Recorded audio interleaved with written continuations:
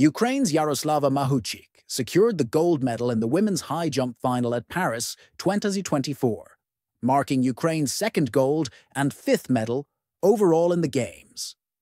Australia's Nicola Olyslagers took silver, while the bronze was shared between Ukraine's Iryna Gerashchenko and Australia's Eleanor Patterson. Mahuchikh, who won bronze at Tokyo 2020, has made significant improvements over the past three years.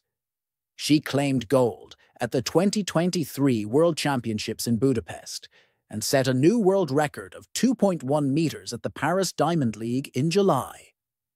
At just 22 years old, Mahuchikh's future in athletics looks exceptionally promising.